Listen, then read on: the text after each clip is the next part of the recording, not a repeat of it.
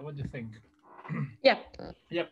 Let's go on. So, um, welcome everyone. Uh, this is the COVID 19 uh, 5 parallel session, which is uh, something we wouldn't have expected last year at CCS uh, 2019, I guess. And uh, uh, so we have five talks uh, planned in this session, and um, you can decide either to give the talk live or to play a video, as you as you know. I I prefer slight preference for live talks, but it's just up to you. And uh, let's go to the first one, who is uh, Chiara Poletto from uh, INSERM and she will be talking about diversity in humans and pathogens, implications of the dynamics of epidemics, and the impact of interventions. Chiara, over to you. Thank you so much for the introduction and thank you for, uh, for the invitation. It's a, it's a huge honor for me to, to present my work here. So yes, uh, given that it is the COVID-19 session, we speak mainly about COVID and what I did recently on the topic.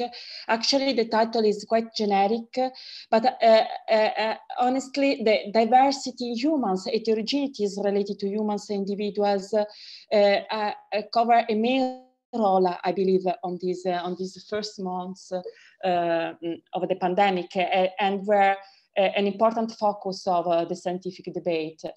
And uh, I will uh, I will speak a bit about that, and also will argue at the end that instead pathogen heterogeneities will will be important, especially if we want to understand uh, the coronavirus dynamics in the in the next years.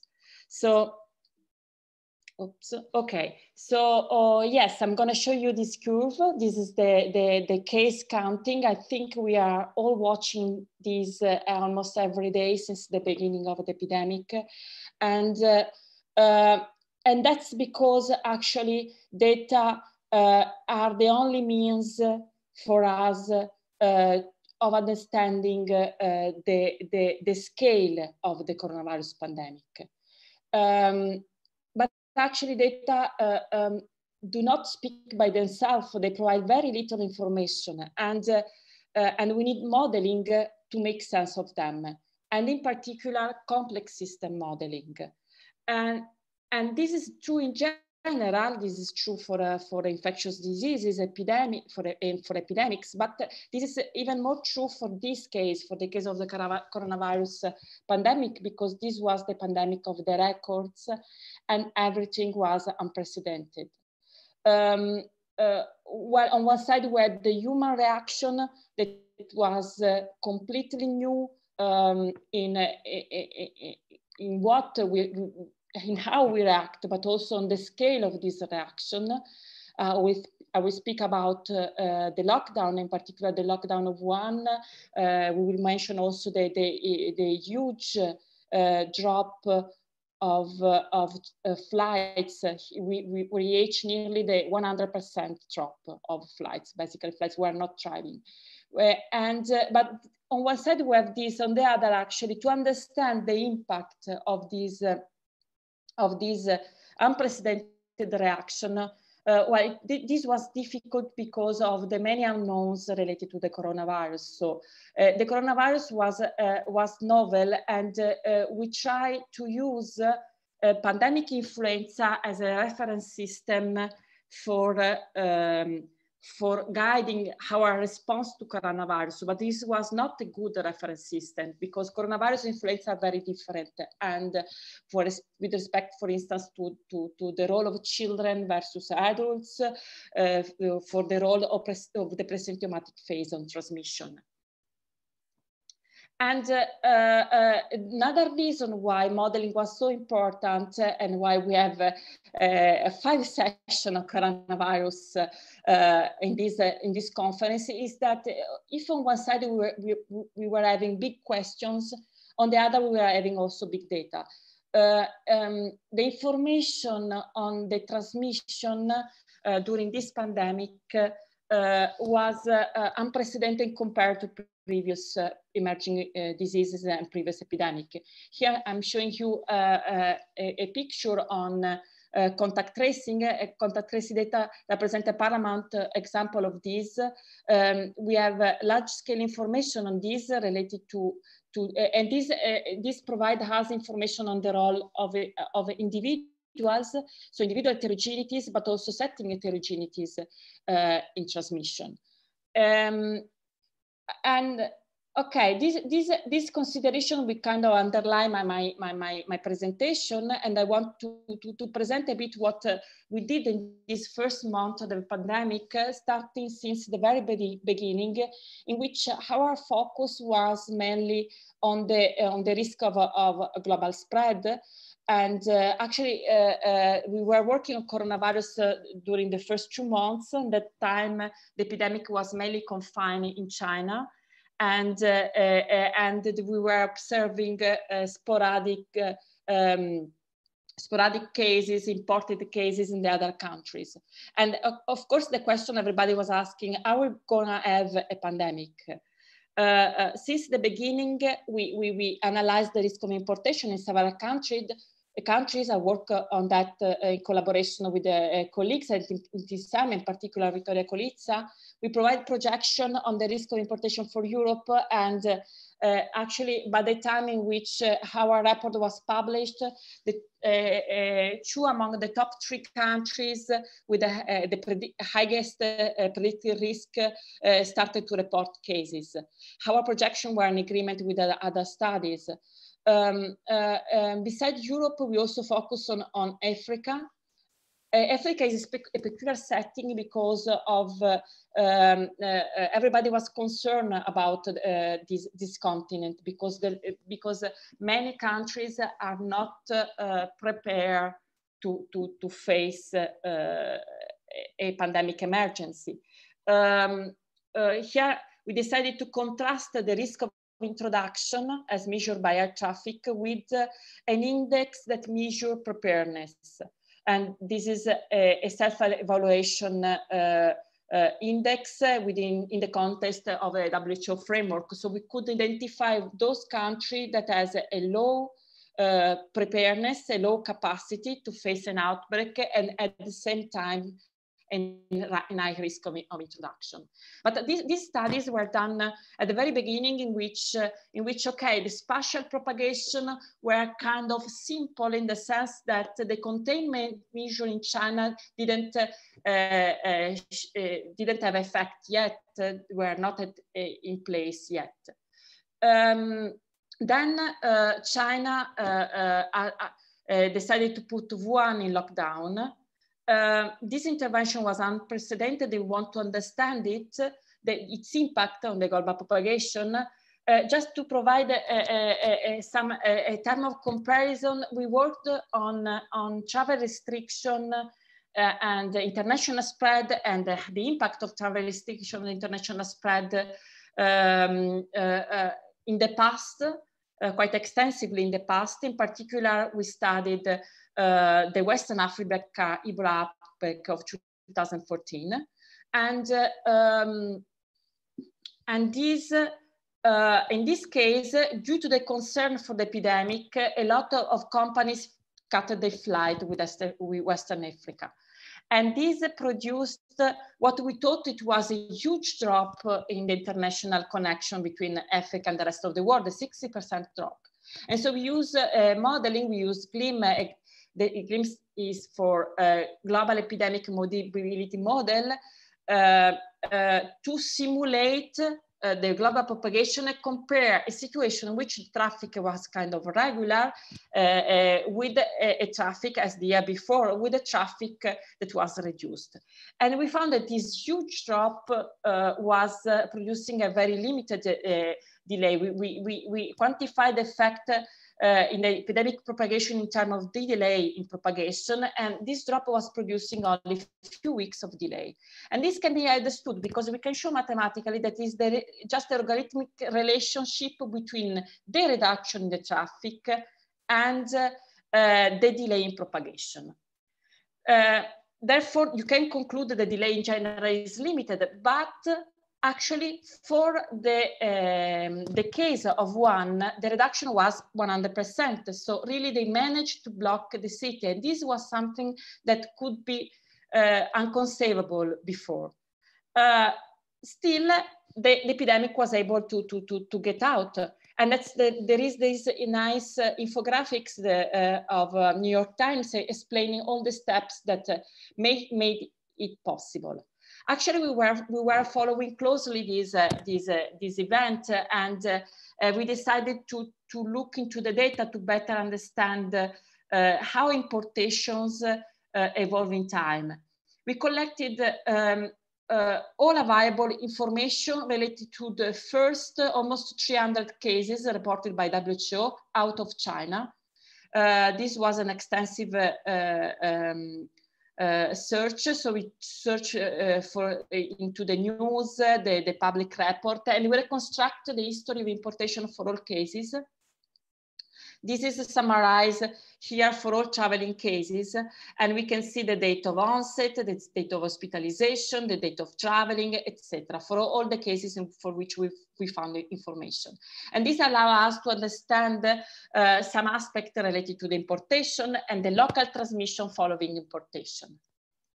And in particular, uh, um, we try to reconstruct the dynamics of importation so um, here in red, I'm showing uh, the curve of importation as they were reported. Um, and, but for some cases, we had also the data of traveling, the travel, traveling out from, uh, from Wuhan. And so we use uh, Bayesian maximum likelihood analysis to estimate, uh, to reconstruct the date of traveling. So the curve of importation by date of traveling for all cases. And what we found is the blue, curve. And we can see that uh, we estimated a, a, a, rapid, a sudden drop uh, starting from the date in which uh, um, the, the travel ban in Wuhan was implemented.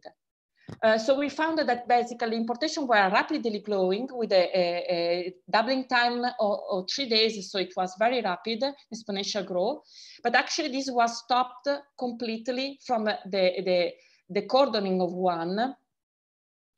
and uh, um, and actually uh, importation were almost zero, but not only from Wuhan, also from the rest of China. Uh, so we can conclude that the of Wuhan had an unprecedented effect, but actually, if we look into more closely into the data, we realized that this was too late. Uh, uh, that's because if uh, looking at all the importation and transmission event we collected, we realized that some transmission out from China were happening without any any known index case. So the traveling, the traveling index case that caused transmission uh, in foreign countries were not recorded in many cases.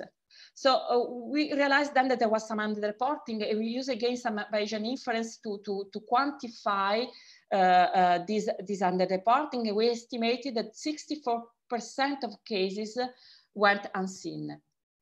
Uh, uh, this result is in agreement also with the phylogenetic studies, in particular uh, the study of led by the, the Lemey lab, in which they found that a large proportion of importation event went uh, were, were, contained, were handled, were, were detected, but actually few importation events uh, uh, managed to escape um, um, the, the, the, the, public health authorities and generated the outbreak and the pandemic out, out of China. So uh, to conclude, um, the, uh, the cordoning of Wuhan had an unprecedented effect. It was strong. Uh, we got close to contain the outbreak at the source.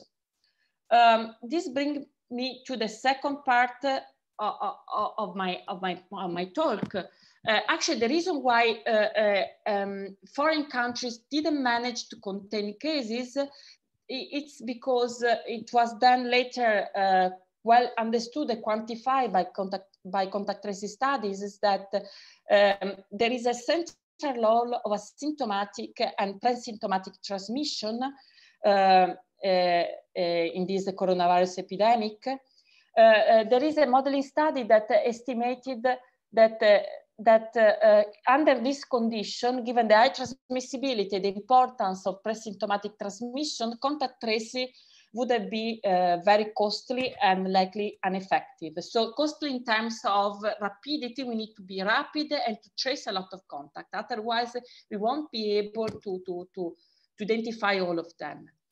So this is clearly not feasible uh, uh, for manual contact tracing.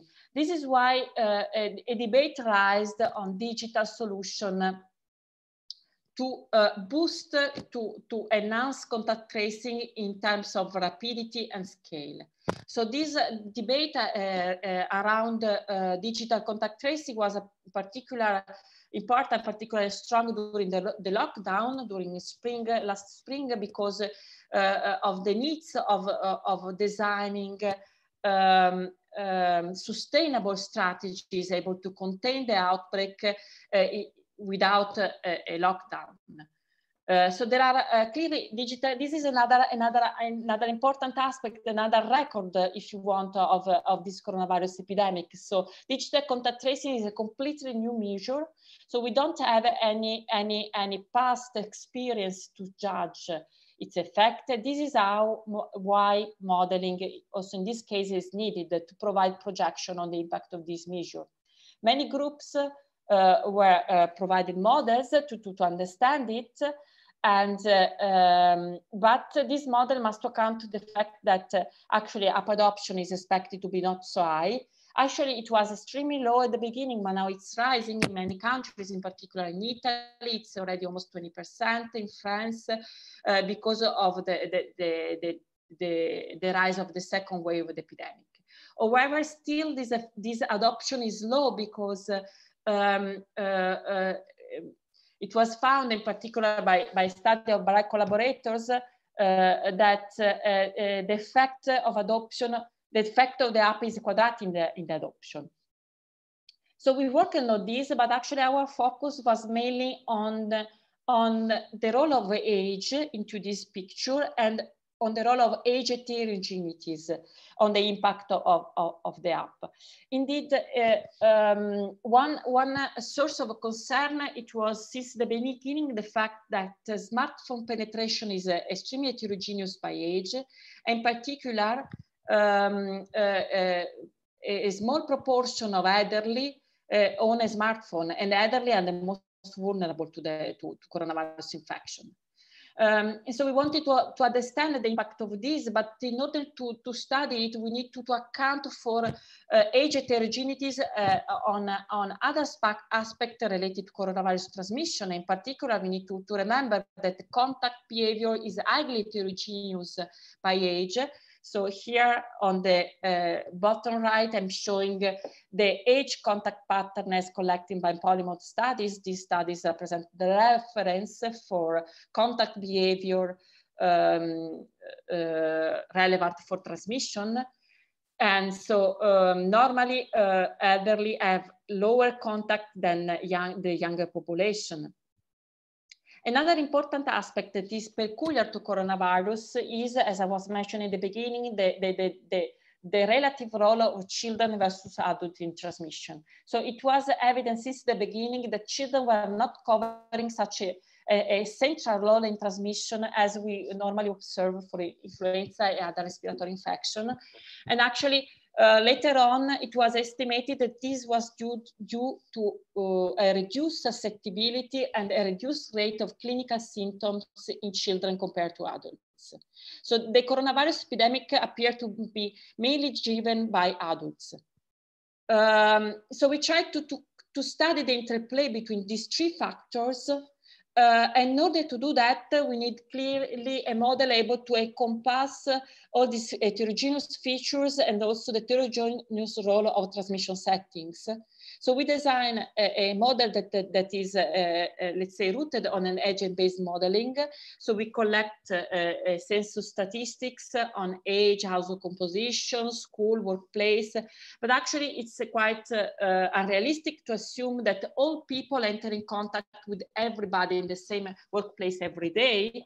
And for contact tracing, this assumption would be quite, quite a bad assumption to proper modeling it. So we try to extract a subnetwork uh, to model a subnetwork that really uh, account uh, really model human-to-human -human interaction.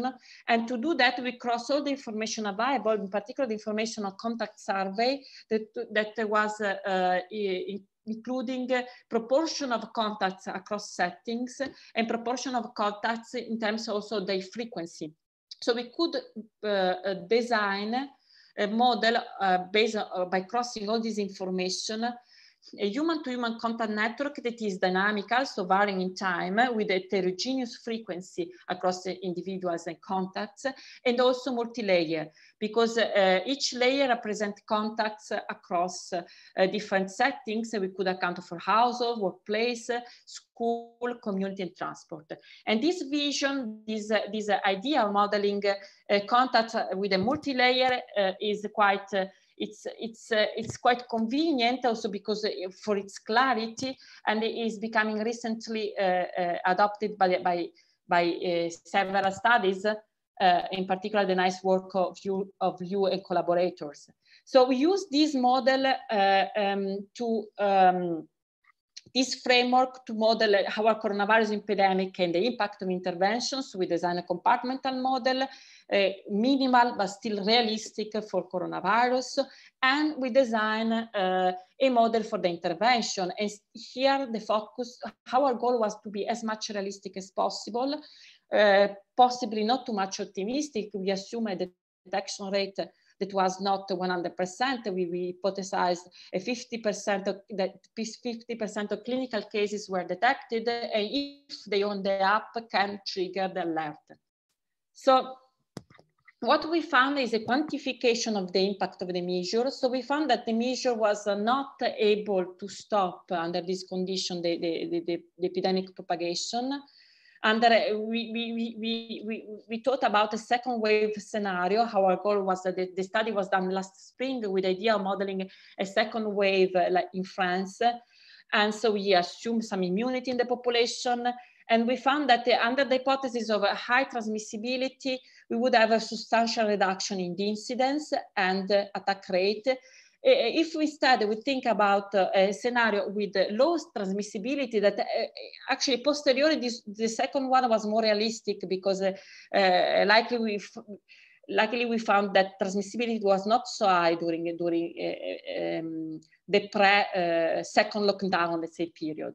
And in this case the reduction could have been sufficient to um, maintain the epidemic under hospital saturation level if the app would have been adopted by more than 30% of the population. This didn't happen and didn't. we are in the lockdown now, unfortunately. Uh, I think that one, one result, very interesting result we found is that we quantify the reduction uh, um, uh, in transmission due to the effect of the app uh, by age. And we found actually that the highest reduction was uh, in, in the elderly population, despite the lowest adoption is in the elderly population.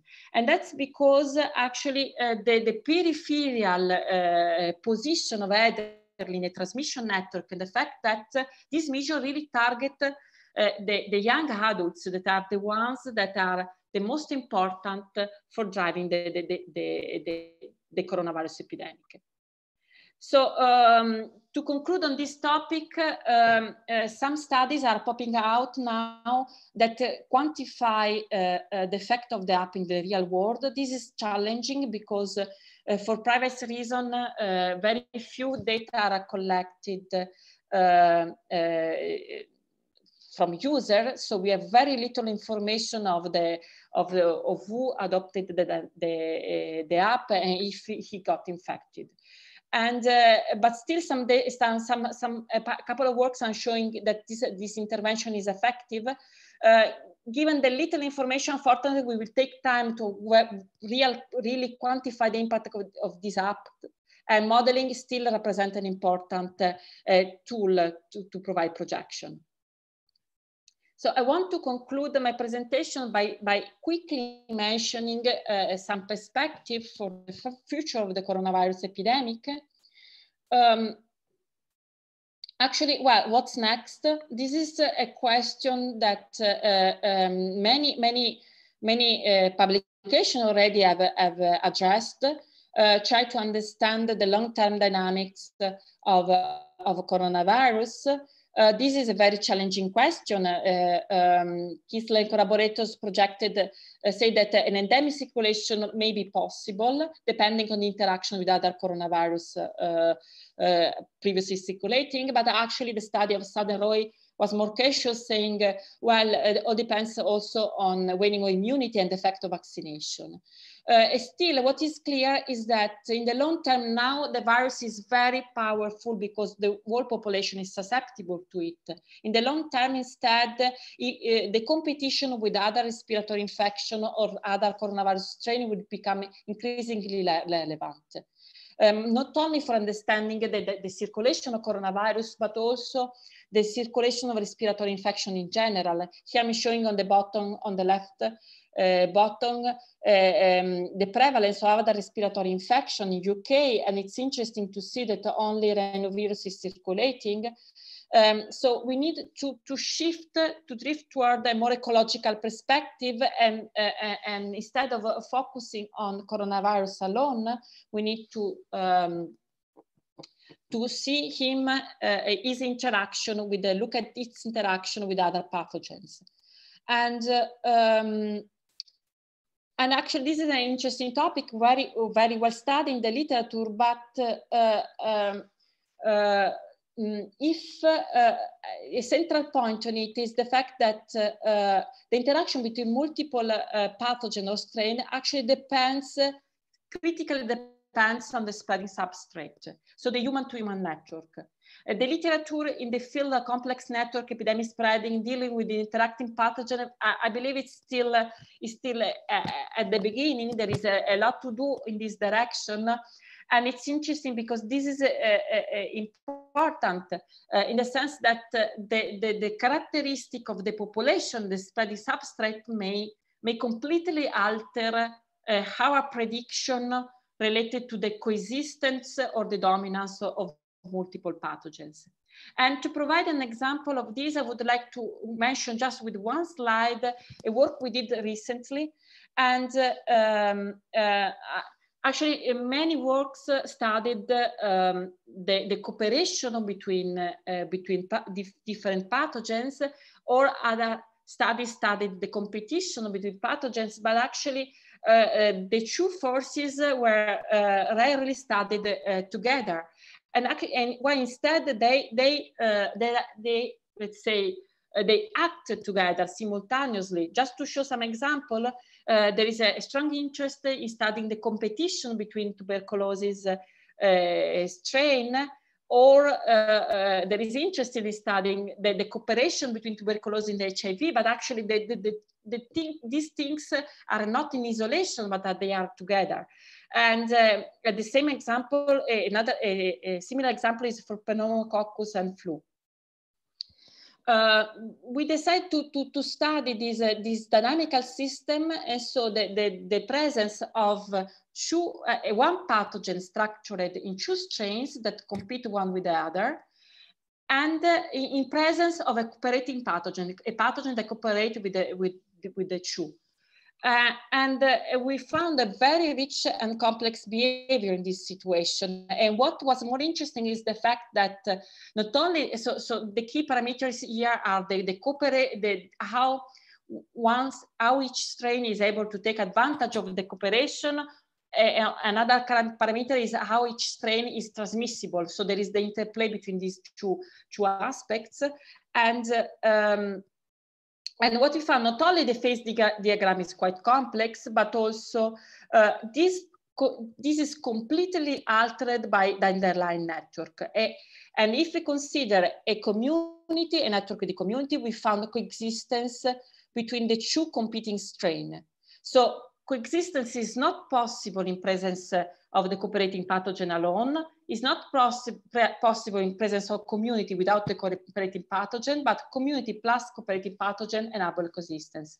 And this is showing how how it's important to consider heterogeneities at the host level together with heterogeneity at pathogen level. And hopefully all the information that is becoming available, uh, uh, that was mentioned in the very quick beginning related to contact tracing uh, studies, uh, information on individual heterogeneities in transmission is gonna shed light also on important mechanism in, in disease ecology.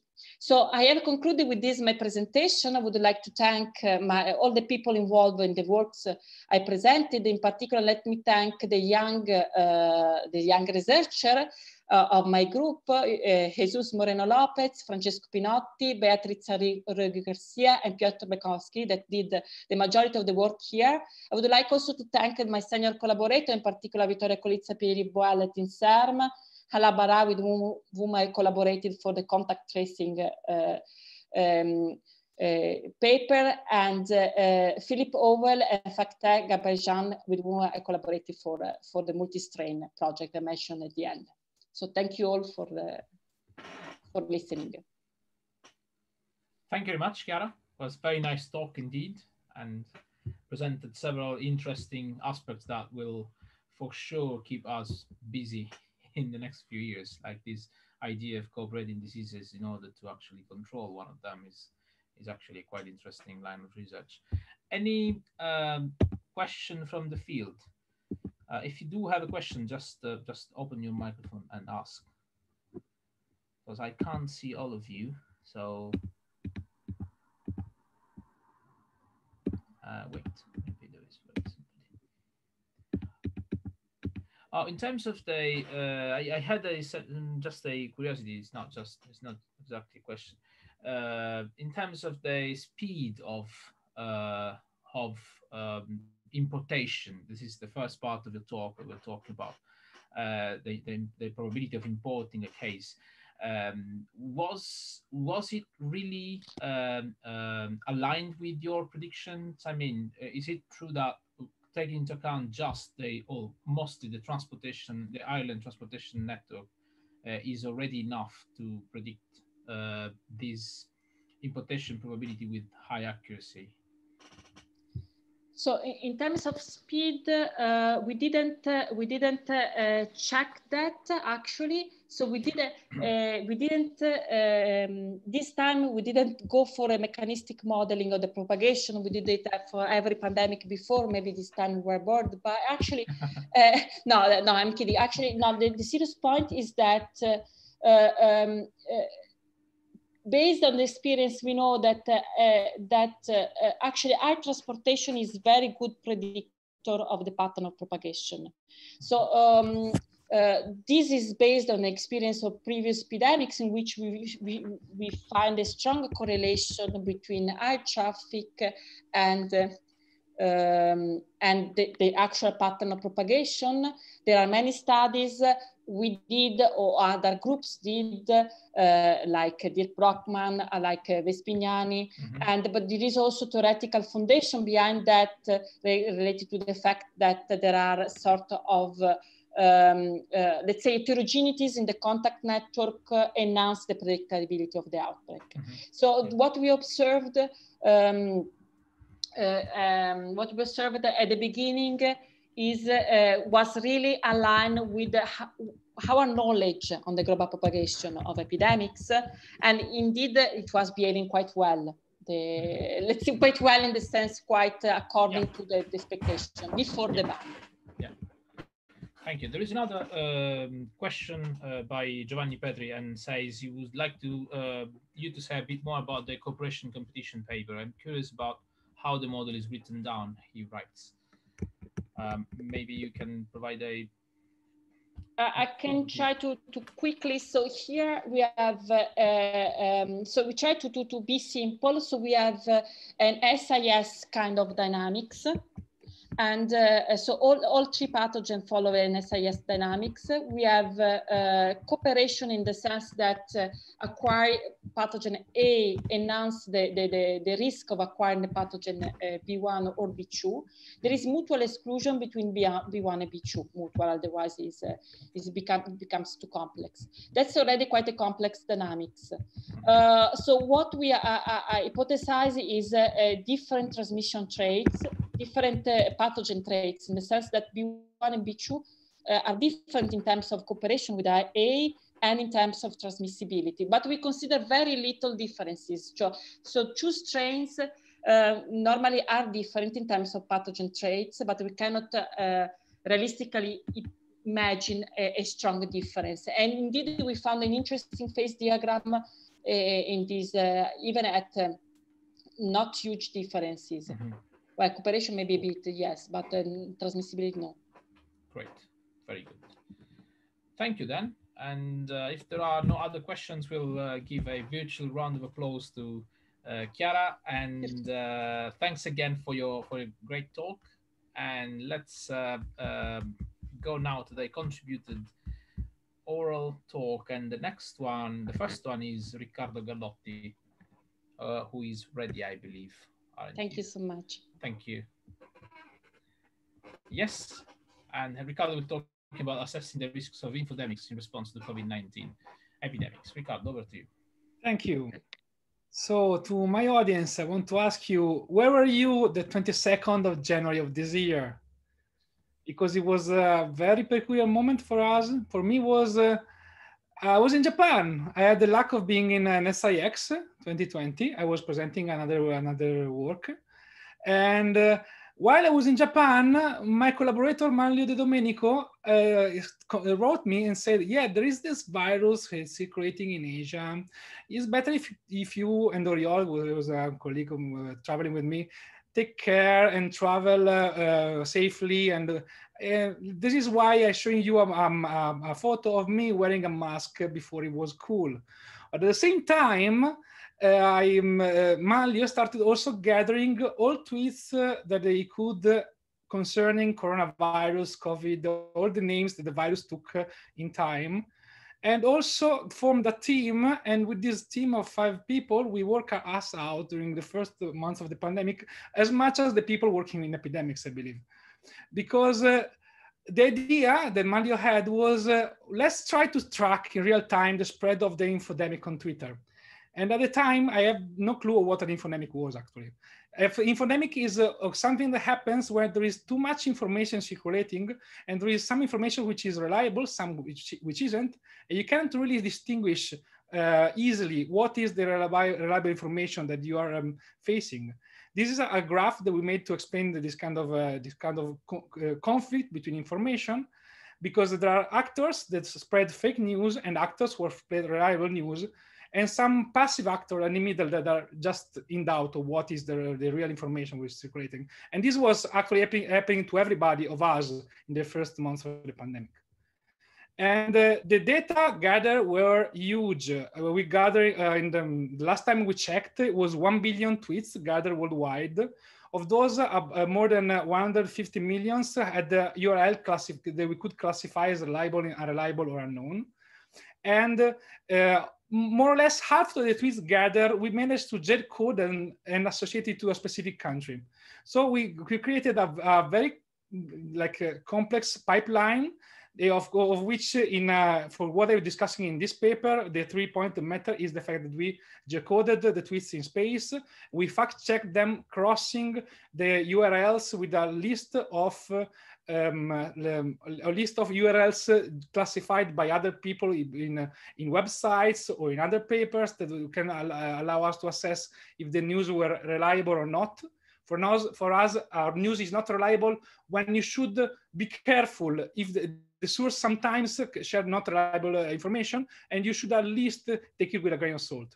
And uh, well, thanks of this information, we could make some risk analysis about the infodemics. That is what I'm discussing here. But uh, uh, the, our first focus was trying to build an interactive platform so that we could share the information we were gathering in real time. And the platform went online the 10th of March. And at uh, last time we checked, uh, 64,000 unique visitors. And now at the moment is, is currently supported by the WHO, who is paying us to build, to build a new version and a better version. And in this platform you can access in this moment, you can uh, observe two quantities. That is what we are discussed more in deep in this talk. That is the epidemic, um, the, number, the epidemic number, the, the number of people who are uh, contracted the, the virus in time in a country, and the infodemic risk index. How we compute this? Oh yeah, this is a new, a new slide. Just uh, uh, we realized that we got a lot of traction in, on the press with this uh, this platform, and this is the list of what we um, or the, where we went until we stopped uh, taking notes because it was too long so how we estimate the infodemic risk?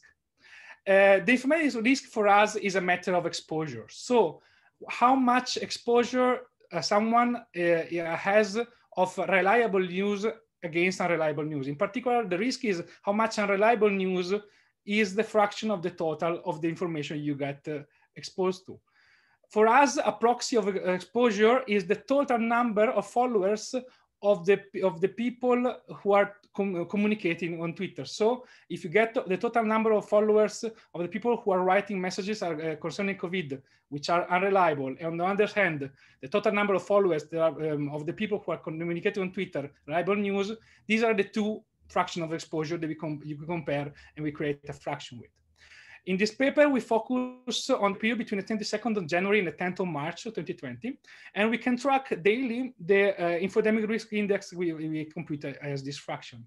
And uh, on the bottom left, you can see how for Italy, we see a clear drop in the infodemic risk from a number that was in average 0.25 to a very smaller number exactly in conjunction when, with when the, the actual epidemic started in Italy.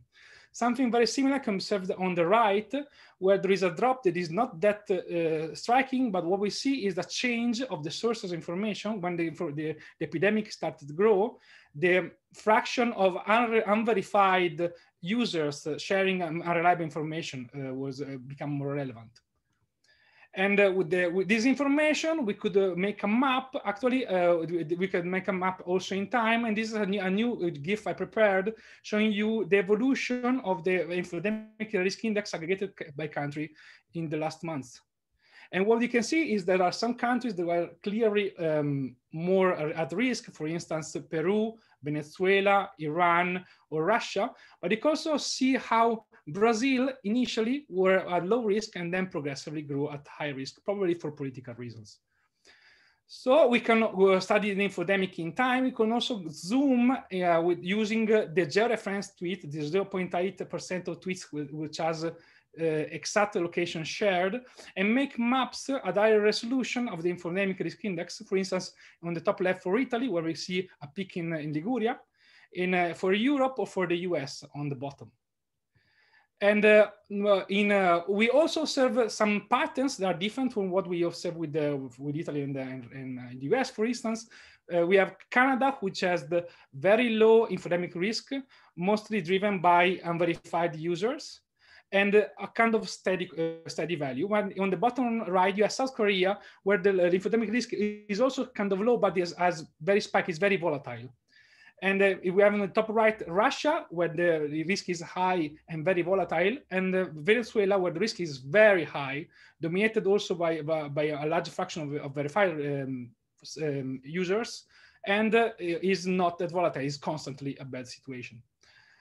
And uh, we, uh, we can end this talk with the good news because gathering all this information and see how the evolution in time was in average for the countries, we see that when the epidemic hits, in, uh, often the infodemic level dropped.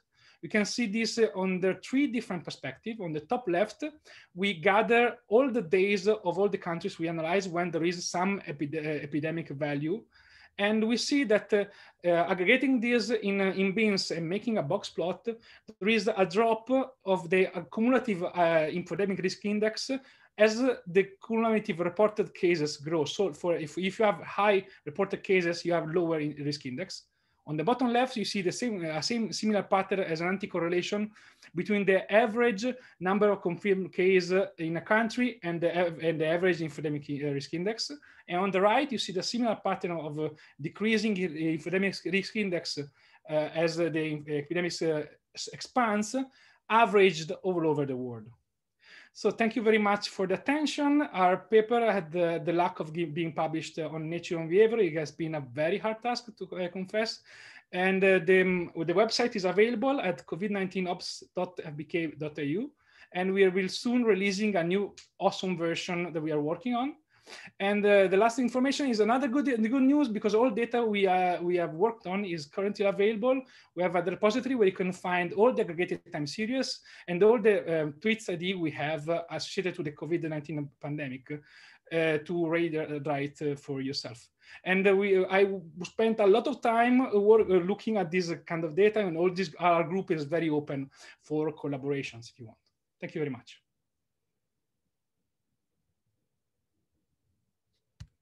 Thanks. Very nice talk indeed. Very nice paper. Uh, is there any question from the audience? Okay. Looks like nobody's uh, opening their microphone. Okay, great. So unless there are, if there are no questions, then uh, we can uh, thank Ricard again. And uh, thank you very much for your talk. And uh, let's go to the next one, uh, who is uh, Maria Castaldo. Uh, is Maria yes. here? Yes. yes. Very good. Can you please Thanks. share your screen?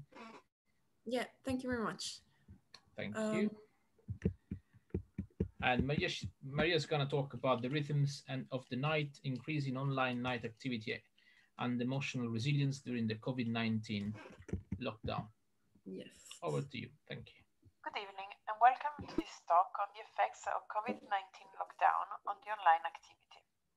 My name is Maria Castaldo. I am a PhD student at CNRS in France and the work I'm going to present has been done in collaboration with Floriana Gargiulo, Tommaso Venturini and Paolo Frasca.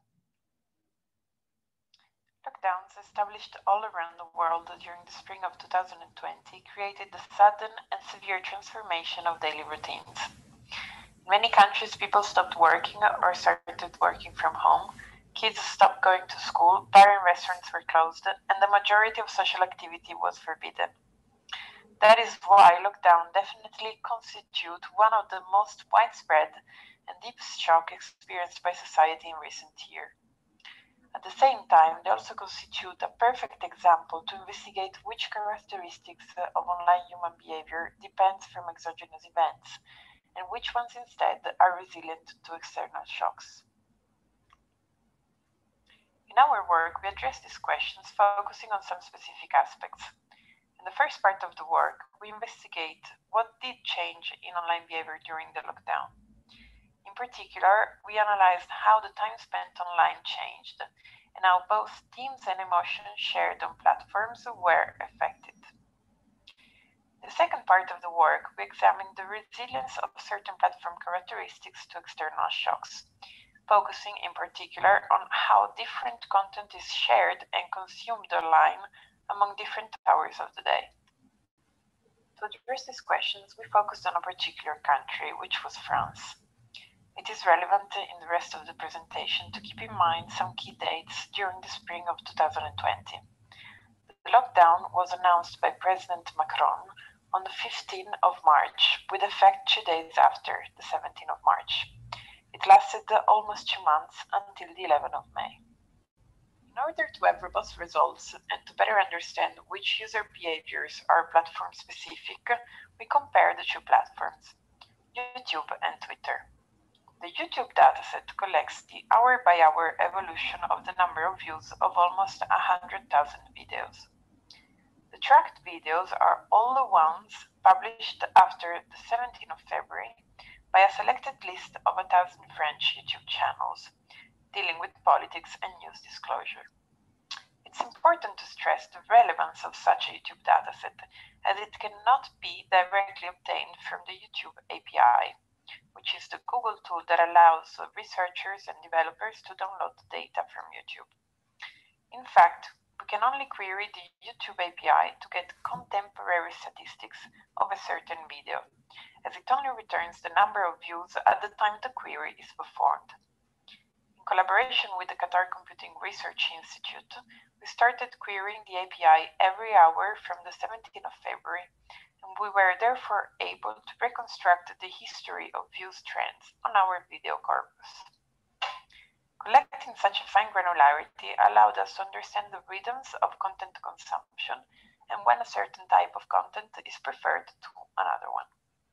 To perform a cross-platform analysis, we compared YouTube data with a Twitter corpus of around 8 million tweets and retweets. We selected all the tweets published between February and April by a list of around 5,000 non-professional French users that is, users that had the location set to France in their profile and whose profile description wasn't mentioning any keyword related to official media like televisions or newspapers. A first major habit change we observed is an increase in the online activity. Here is outlined the time evolution of different metrics. On top, we can see the evolution of the total number of views in our YouTube dataset. In the middle plot, we can see the evolution of the number of new video posted on YouTube, while in the bottom plot, we see the number of tweets and retweets a long time. In all the three plots, the dashed line represents the hourly trends, while the solid lines constitute daily averages. As we can see, starting from the 15th of March, which is shown by the green vertical line, the average daily signals reveal an increase of activity for Twitter posting and YouTube watching. It's interesting to notice that on both platforms, the increase of activity started from the very moment the lockdown was announced. The video posting activity, on the other hand, conserved the same weekly and daily rhythm with the beginning of the lockdown and proved to be a more stable activity than tweeting or watching videos on YouTube. Therefore, we could summarize the results so far obtained on YouTube by saying that even though we observed an increase in the demand of content, the offer of new published video remained stable. Once the general increase of online activity is observed, we can better understand how such activity is distributed among different hours of the day. The left plots in the slide show the average distribution of total views among the different hours, both for Twitter and YouTube. The dashed line represents the behavior before the lockdown, while the solid line represents the situation during the lockdown. We first observe that the profiles for Twitter and YouTube are quite different. While Twitter is mostly used during the day, with a strong activity decrease after midnight, YouTube is characterized by a higher night activity.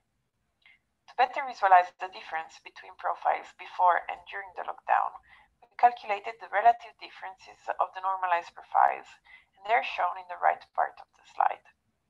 Both YouTube and Twitter experienced an activity increase during the night and a decrease of the activity in the early morning. We observed that the morning decreases in Twitter are smaller than the night increase. This suggests that with the lockdown, people stayed longer awake during the night, but without oversleeping in the morning. To confirm the hypothesis of reduced sleep during the lockdown, we analyzed the situation at the individual level on Twitter.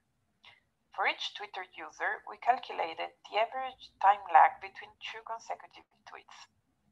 The first plot shows the average inter-event times at each hour of the day top line refers to the observation before the lockdown, while the bottom one refers to the lockdown period.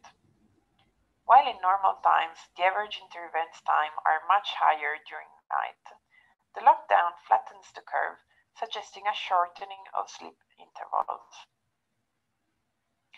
In the second plot, we display for each hour of the night the probability that a subsequent tweet is posted the following morning between 7 and 12 a.m rather than during the night itself. This quantity represents the probability to go to sleep after an event happening at a certain time during the night. We can see that until 4 a.m., the probability to get asleep during the lockdown is lower. once a shift in online activity is observed, it becomes interesting to understand whether it corresponds to a shift in terms of content. We focused on changes of content both from an emotional and a thematic point of view. To analyze the content, we performed some text analysis, considering the titles and descriptions of YouTube videos and the text of tweets and retweets. To analyze the text, we use a tool known as the LIWC dictionary. Using the dictionary, we labeled each word with some labels belonging to three different categories general emotion, specific emotion, and themes. So, in our example, the word lonely can be labeled as a negative, sad word related to social life. Moving on to text classification, we associated each word in the text with a label. Then, for each category of our dictionary, the text was associated with the label expressed by the majority of the words. So, for example, if a text contains two words related to positive emotions and no negative word, the text was going to be attributed to the positive label in the category general emotion. At the same time, if it contains, as in our example, two words related to houses, like home and garden, one word related to biology and one word associated to religion, the text is going to be classified as a text speaking about houses. Comparing the two platforms, we first observe that YouTube is more emotional than Twitter and is generally populated by more positive content. Both platforms experience a decrease of the emotional sphere during the lockdown, but on YouTube in particular, we observe an increase of emotionally negative contents. Regarding specific emotions, we notice that expressions of accomplishment declined in both platforms. Instead, while Twitter experienced a decrease of all the specific emotions, YouTube, which was already characterized by a higher level of anger, sadness, and anxiety, goes through an important increase of those sentiments. From a thematic point of view, we observe, without surprise, a decrease of the contents related to social life and leisure, and an increase of contents related to death and house. On Twitter, we also have a significant increase of religion-related content. All the differences in emotional and thematic content have been tested with Kolmogorov-Smirnov test and have proved to be significant. Once we observed an emotional shift in both platforms, we investigated in what way it was related to circadian rhythms. We divided the, the, day into five time periods and analyzed the distribution of emotional content across different moments of the day, as it is shown by the plots. The important finding that emerges from this analysis is that the daily emotional patterns seems to be resilient to, to the COVID-19 disruption. In fact, the parallelism of the lines before and during the lockdown suggests that even if the volume of some emotion changed during the lockdown, their daily distribution generally maintained the same shape. To conclude, let me stress once again that certain characteristics of online behavior prove to be more affected by lockdowns than others. Circadian rhythm, for example, proved to be strongly related to lifestyle and working hours. At the same time, topic and emotion showed a strong link to the external situation as they shifted with the lockdown. On the other hand, we pointed out the resilience of emotional hourly patterns. Even if the circadian rhythms changed and people stayed awake longer, at night, users continue to share and consume the same emotional type of content. Thank you very much for your attention. Thanks a lot, Maria. Thanks. And is there any question from the audience? Just open your mic or write in the chat, please.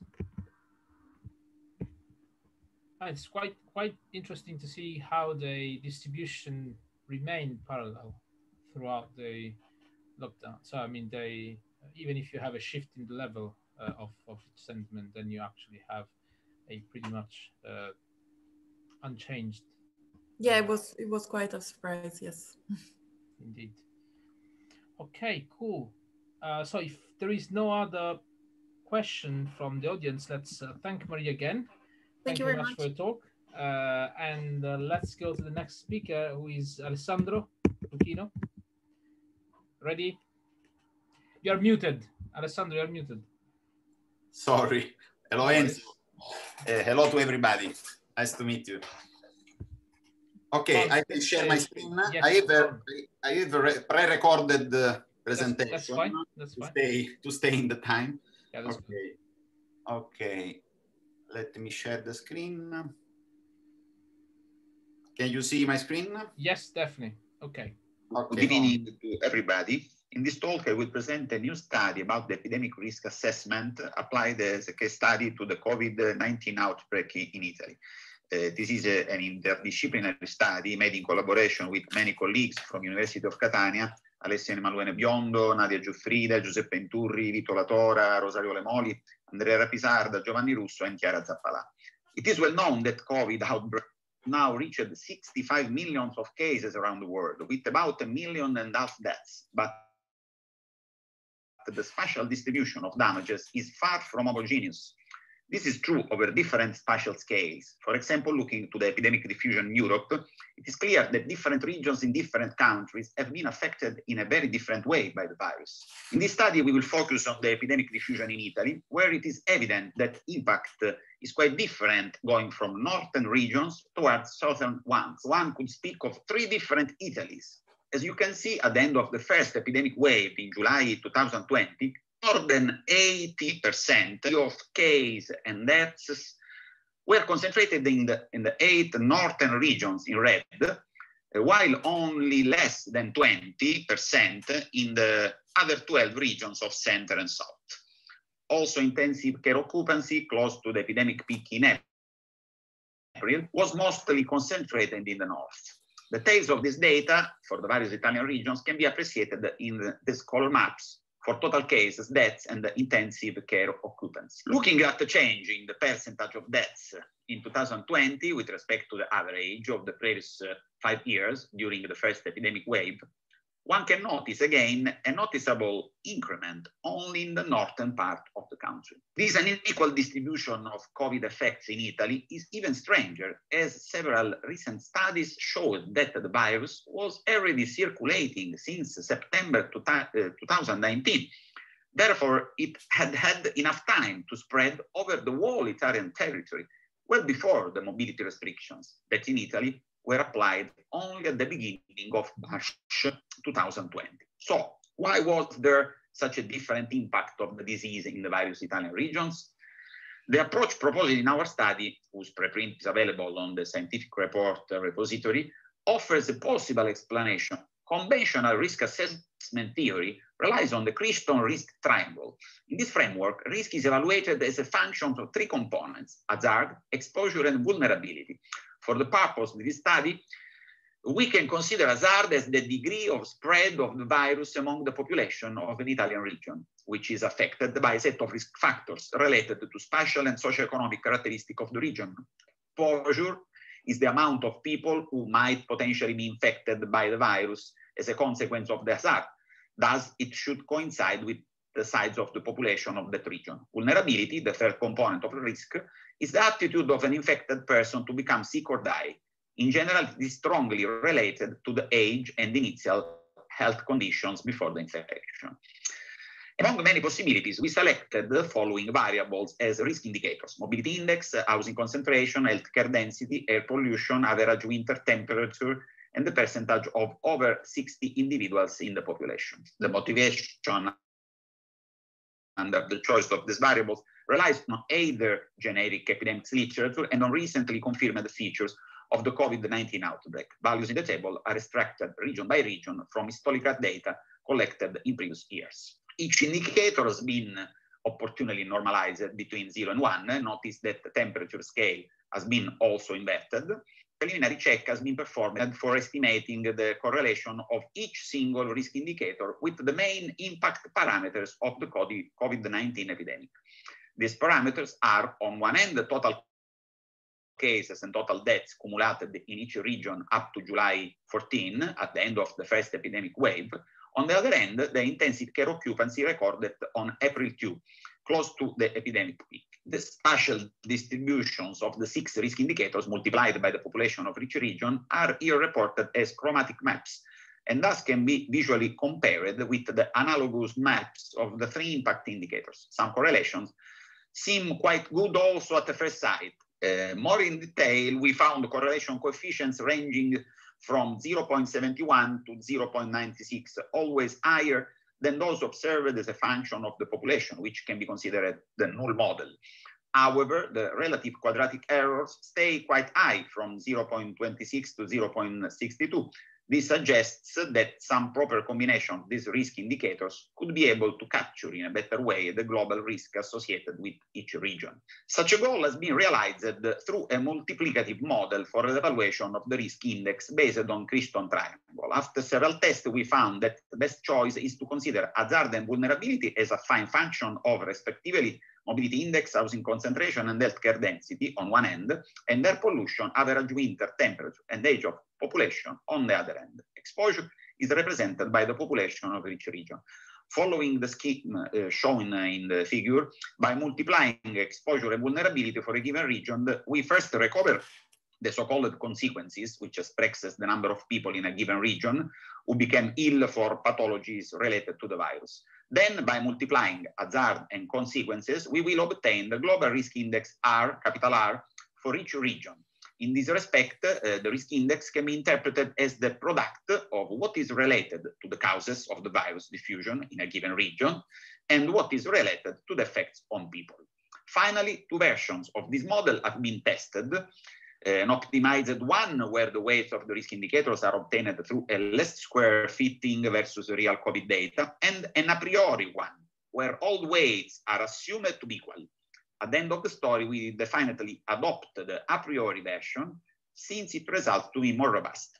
This is the reason why we call R uh, the a priori risk index. Looking at the ranking of the Italian regions, compared with the COVID-19 data about total cases, deaths, and intensive care occupancy, updated both at April 2 and July 14. Notice again that data for cases and deaths are accumulated, while those for intensive care are daily scores. The values of the risk index have been normalized to their maximum value, so that Lombardia has R equal 1. Due to the intrinsic limitations of the official COVID-19 data, due to the fact that symptomatic infected individuals are difficult to detect, it is convenient to make the comparison at the aggregate level of groups of regions without expecting to predict the exact rank within each group. Therefore, we arranged the 20 regions in four risk groups, each one characterized by a different color and ordered according to values of the risk index. With this choice, our model is clearly able to correctly identify the four northern regions where the epidemic effects in terms of cases, deaths, and intensive care occupancy have been far more evident. The first in the ranking, that is Lombardia, with risk score about three times more than the second classified, and the group of the three regions immediately after it, Veneto, Piedmont, and Emilia-Romagna, even if not in the exact order of damage. A quite good agreement can be observed also for the other two groups, where only a few cases were overestimated or underestimated. Notice that the proposed risk classification seems quite robust, since it holds both near the peak of April and at the end of the first wave in July, when the intensive care occupancy of the majority of the regions was zero. The clear separation between northern regions from central and southern ones is also confirmed in this slide, where the a priori score map is compared with the map of COVID-19 total cases in July on the left, and with the map of the serious cases and deaths of the seasonal flu in Italy on the right. The agreement is clearly visible already at the first sight, showing that our a priori model can be useful also for addressing other kind of influences. In these plots on the left, we show the correlations between the a priori risk index and the three main impact indicators related to the outbreak. For each plot, a linear regression has been performed with Pearson's correlation coefficients that always takes values greater or equal to uh, 0.97, indicating a strong positive correlation. On the right of each plot, we report a corresponding percentage of damage uh, observed in the three Italian macro regions, north, center, and south. Also in this case, compared with the percentage of cumulated a priori risk associated to the some macro regions, the correlation is evident. Here we show three sequences of the geographical distribution of the total cases, total number of deaths and current intensive care occupancy as the function of time, from March 9 to July 14. These sequences can be compared with the geographic map of the a priori risk level. In all the plots, uh, damages seem to spread over the regions with a variable intensity quite correctly predicted by our a priori risk analysis. Another interesting way to visualize our results can be obtained by representing the a priori risk index through its two main aggregated components, hazard and consequences, and plotting each region as a point of coordinates H and C in what we call a risk diagram. The value of the risk index is reported in parentheses next to each region name. This uh, red curve is the uh, ISO risk line corresponding to the average regional risk, R equal 0.15, which is able to correctly separate the four more damaged regions and uh, highly risky that are in the north, uh, plus Lazio, uh, from all the other regions. Such a representation in terms of risk diagram may be used to build a policy model aimed at mitigate the damage in case of an epidemic outbreak like the COVID-19 one. In the final part of our study, we discussed some policy intervention proposals based on the a priori risk approach. We have seen that the risk index can be divided into components. Thus, if we interpret the consequences in terms of protection and required support to people with the goal of improving the social results and reducing the economic cost, it is evident that enhancing the capability of the healthcare system appears to be the most important action since it is insufficient carrying capacity that creates the emergency. To address this issue, we propose a theoretical model based on two independent variables influencing the level of risk in a certain region, the infection ratio, here the proportion of infected individuals over the total population, and the number of per capita hospital beds as a measure of the impact of consequences caused by the spreading of the disease. We also provide some numerical example illustrating the subsequent steps that the policy maker facing an emergency outbreak should follow for the practical implementation of our model in a given region in order to minimize the risk level. In conclusion, our work is a first attempt to jointly consider different factors contributing to evaluate the a priori epidemic risk in a geographical area. Better medical knowledge and data availability will be important to further refine and improve the proposed methodology which could also be easily applied to other countries, provided that they make the necessary information accessible. Further studies will deal also with dynamic implications, thus providing more specific intuitions according to different evolutionary paths of contagion spreading. Thank you for your attention. Thank you very much, Alessandro. Very nice talk indeed. Thank you. Um, is there any question from the audience? Uh, just open your microphone if you would like to ask a question. Otherwise, write in the chat. I'm just looking. I don't see I don't see questions in the chat. Okay. Uh, I, have you any ways of incorporating in your model any uh, local heterogeneity at region level in terms of, for instance, mobility? So, the, or you're just considering the, the bare population level as they? No, no, no. We, we consider seven factors that uh, each of them are, uh, of course, uh, calibrated on, the, on each region. So our data a priori, this is the, the important thing is that are not data, the current data.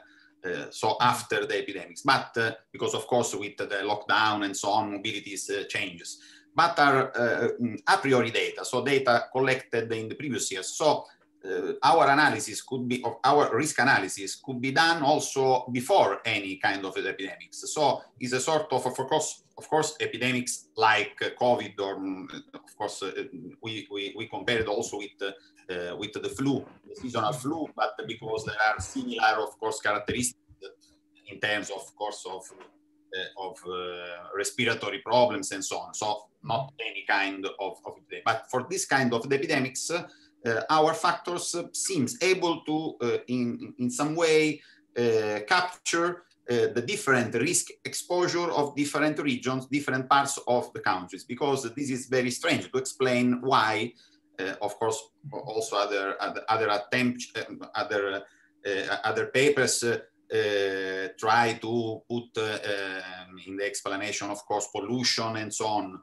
Uh, but we think that uh, the aggregation of several factors, not the 21 factors probably that the Italian government proposed, but maybe a few number of more more correlated factors could uh, could explain this uh, uh, difference between regions. Not only in Italy, we are we are trying to to explain also the anomalous diffusion also in other in other countries.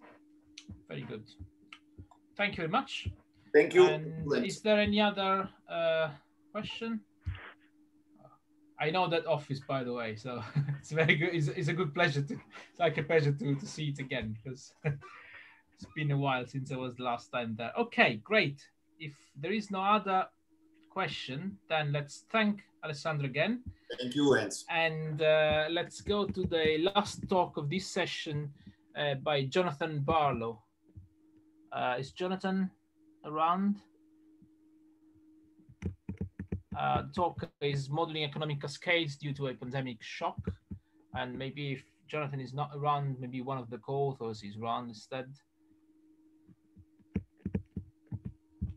Nope. Can you confirm that none of the authors of modeling economic cascades due to a pandemic shock is here?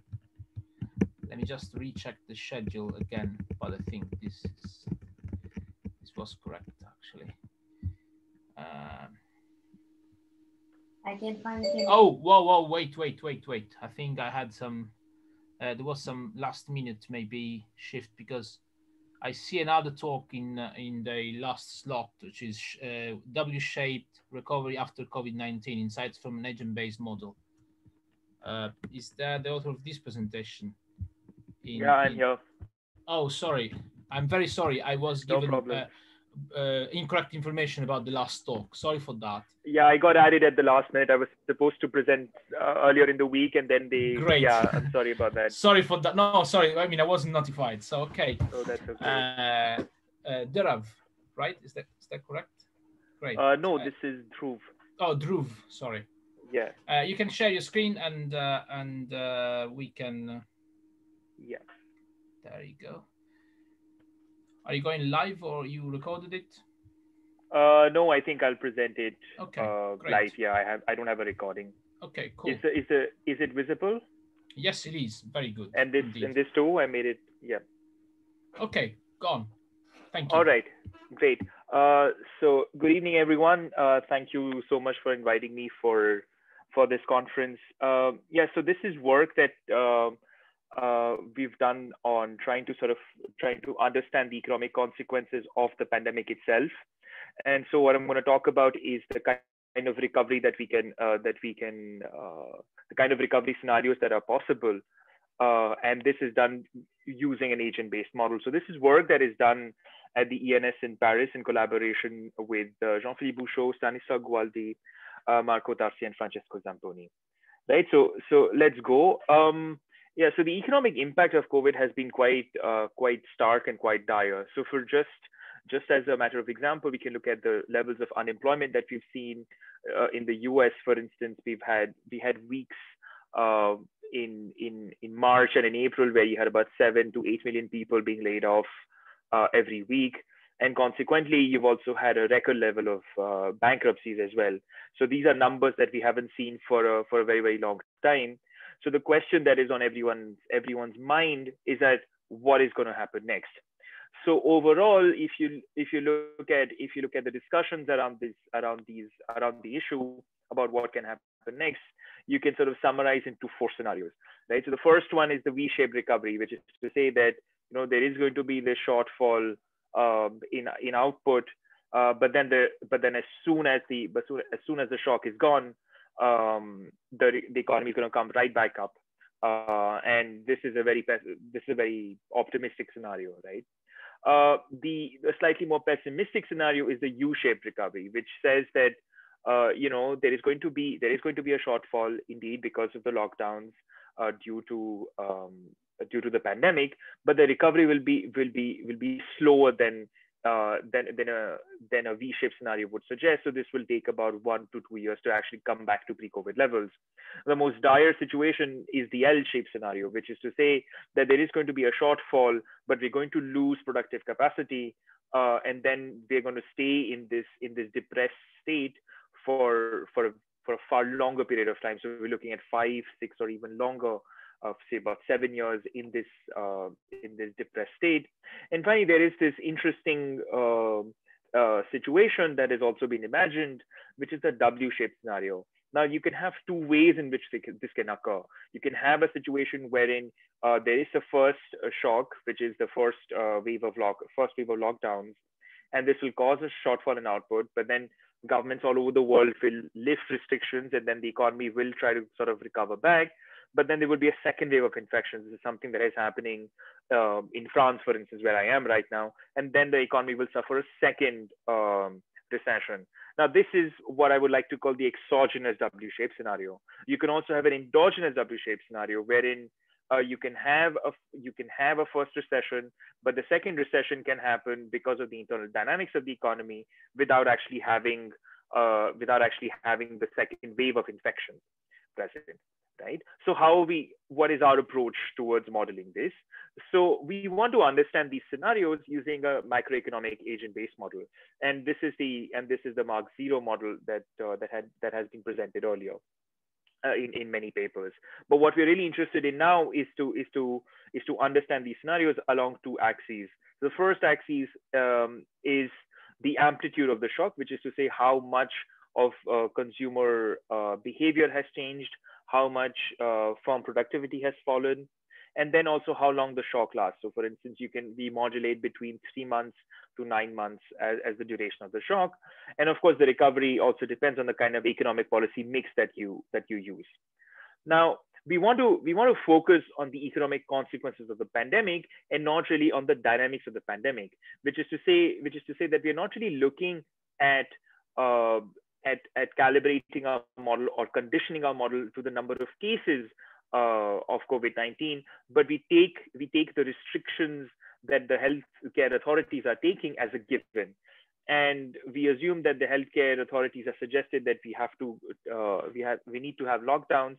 And conditioned on this, we are looking at what the, what the long-term consequences of the pandemic are going to be right? And of course, there is a related aspect about timescales because you as you can imagine, the pandemic is fast. However, the however, you know, the macroeconomy is a sluggish creature, so the economy is going to take far longer to, to recover. So rather than talking about short-term optimal lockdown policies, we want to really look at what the long-term evolution of the economy is going to be, right? So the model itself has four agents. Uh, so you have households, you have firms, you have the banking sector and you have a central bank. Right? So the household receives wages from firms and it consumes a part of these uh, part of these wages. And the proportion of the proportion of these wages that are consumed is determined by this parameter called the consumption propensity, small c right? And this is going to be a key parameter in what follows because this will determine the, the change in behavior of households uh, with respect to their consumption habits. Now, whatever uh, is, is not consumed uh, is saved, uh, and then households earn an interest on this.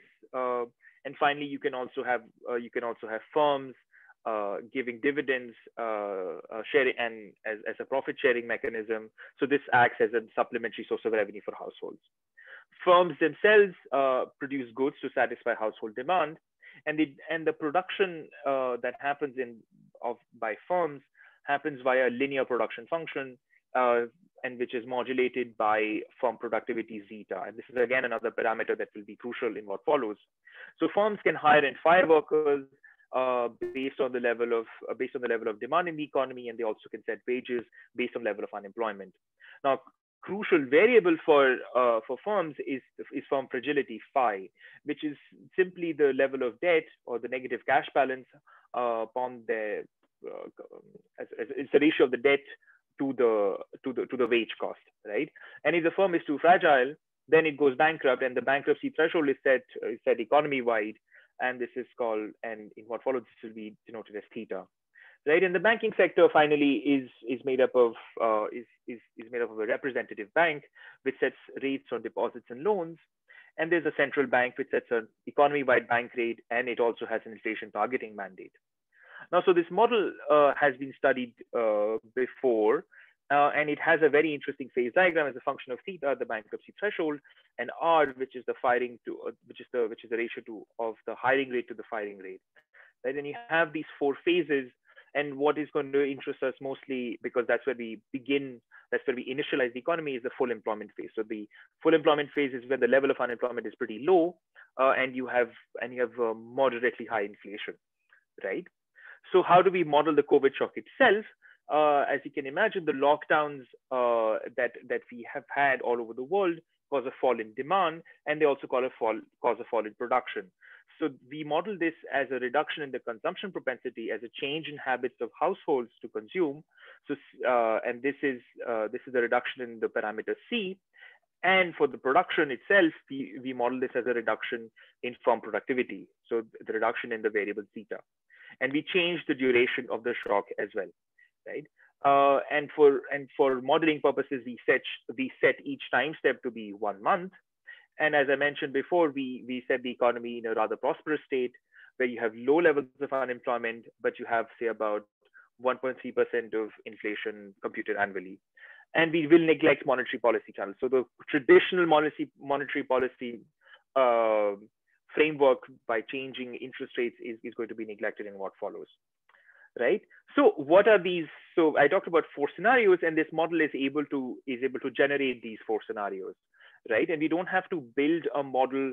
Uh, generally, what happens is that we build a model because we have a particular scenario in mind. But here, by just modulating the amplitude of the of the shock, we're able to generate all these four scenarios. So within a coherent framework, we're able to sort of understand all that is quite all that is possible within within the model.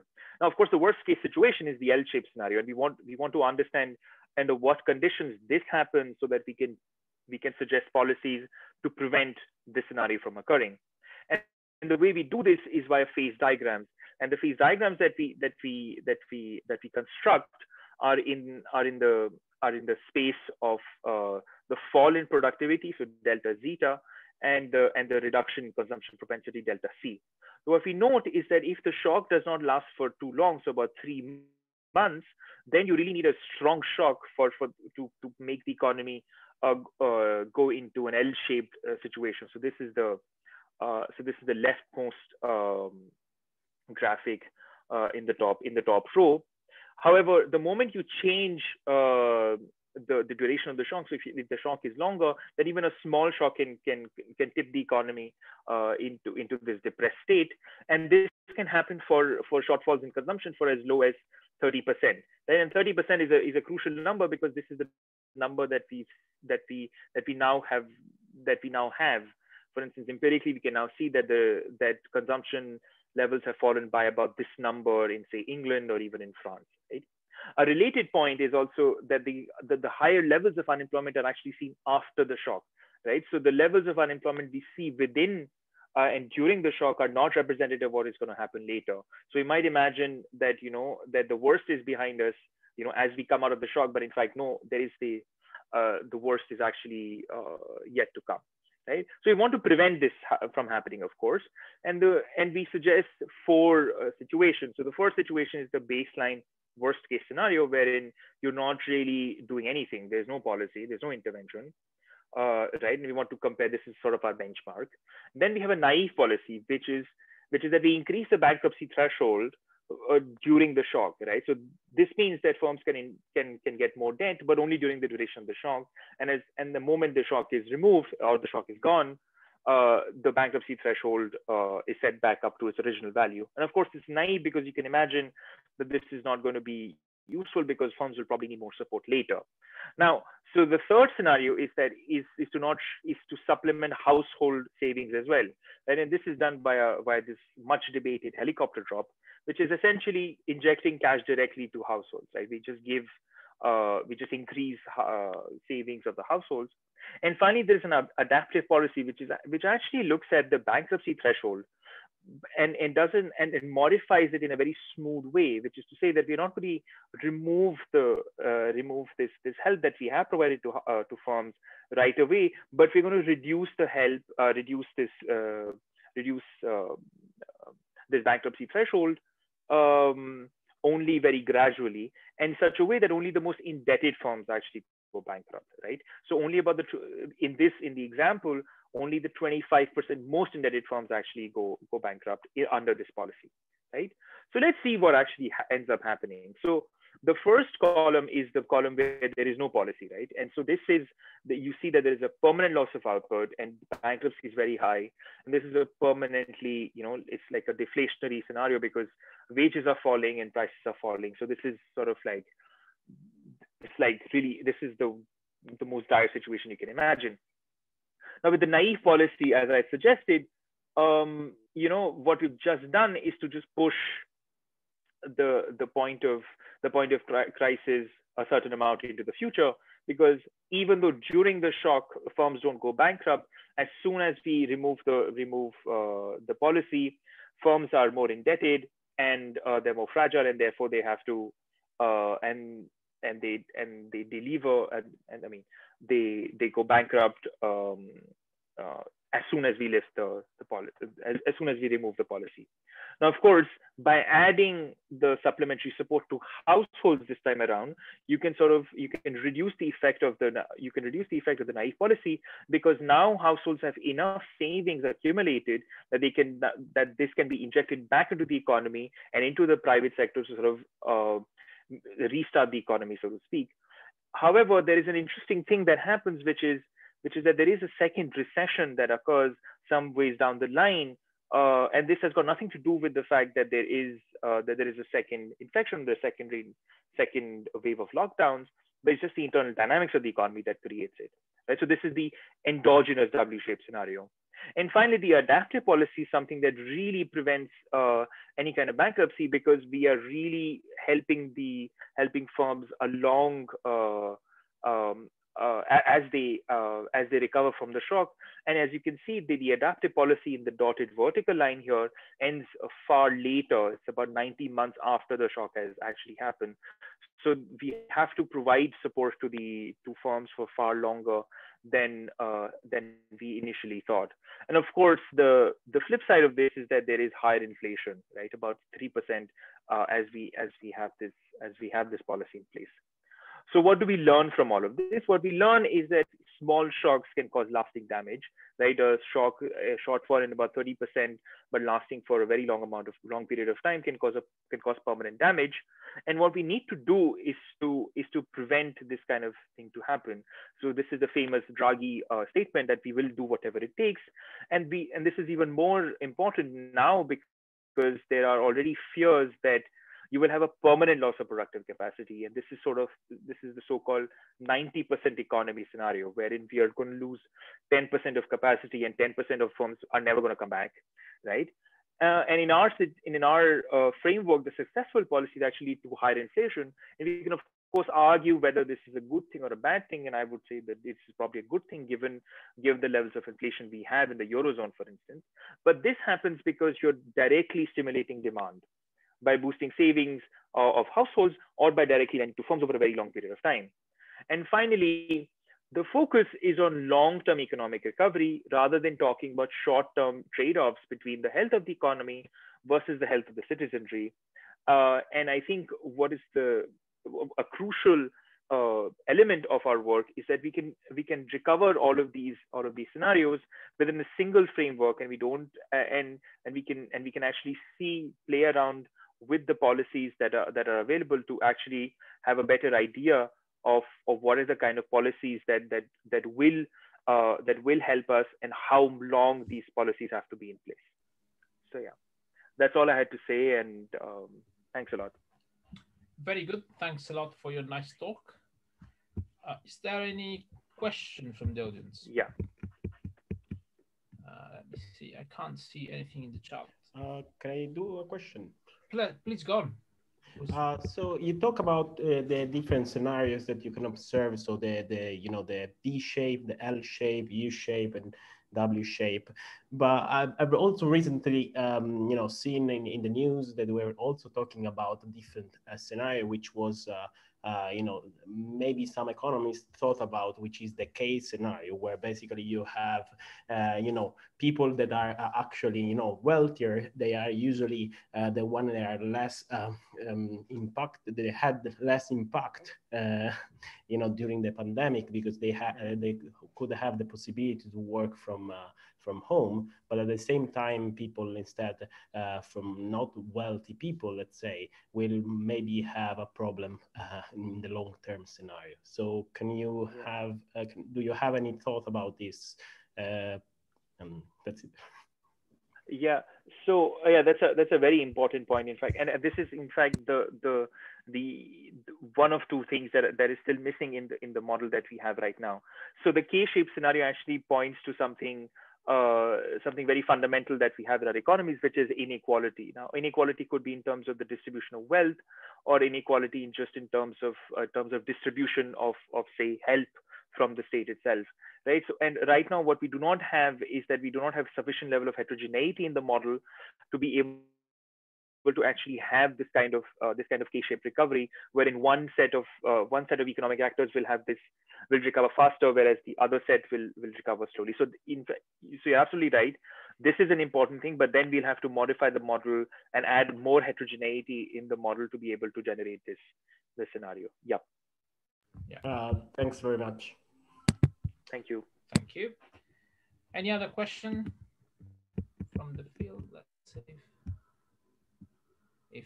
If not, then let's thank our speaker again. Thank you much Thank for you. your talk. And I think this comes, uh, here comes the conclusion of this interesting uh, um, session. Uh, I don't think there is anything more planned for the day. So I hope you will enjoy uh, the last day of the conference tomorrow. And I'm pretty sure we'll see you around uh, somewhere in some other session tomorrow. Thank you very much. See you Great. soon. Thanks a lot. Bye bye. Bye bye. Thank you. Bye bye. Thank you. Bye.